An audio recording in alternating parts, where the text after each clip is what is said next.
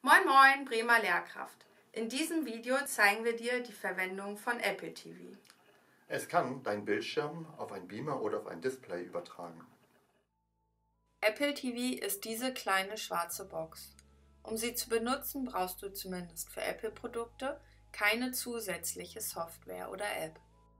Sie empfängt kabellos Bildschirminhalte wie Fotos, Texte, Animationen und Filme von Laptops, Tablets oder Smartphones und sendet diese Informationen an Beamer oder Displays.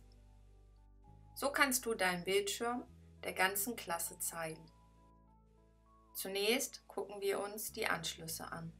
An der Rückseite der Box befinden sich Anschlüsse für ein Stromkabel, ein HDMI-Kabel, hier schließt du dein Beamer, Display oder Panel an, ein USB-C-Kabel für Software-Updates und ein Eingang für ein Ethernet-Kabel, um das Apple TV mit dem Internet zu verbinden.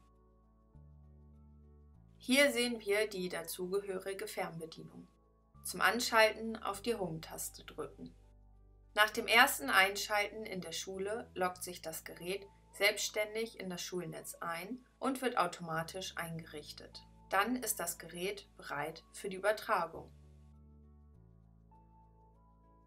Um das sendende Gerät für den Einsatz vorzubereiten, aktivierst du Bluetooth und WLAN, wie hier beim Laptop oben rechts in der Leiste.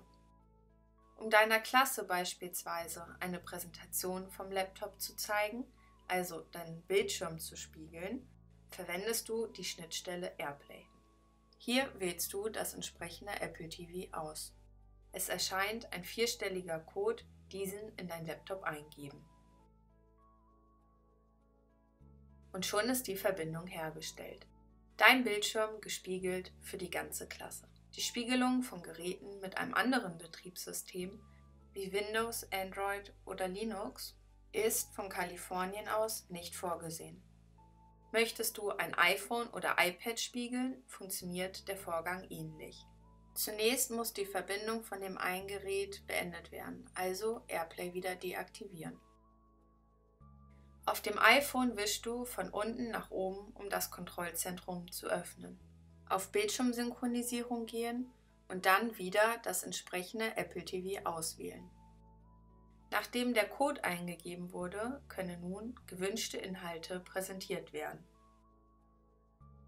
Um den Bildschirminhalt eines Tablets zu spiegeln, öffnest du das Kontrollzentrum von oben rechts in die Mitte wischend. Wieder Bildschirmsynchronisation auswählen und den Code eingeben. Die immer wieder geforderte Codeingabe ist zwar etwas umständlich, verhindert aber, dass sich Geräte aus anderen Klassen nebenan oder vom Flur aus anmelden können, auch wenn das für die Schülerin sicherlich witzig wäre.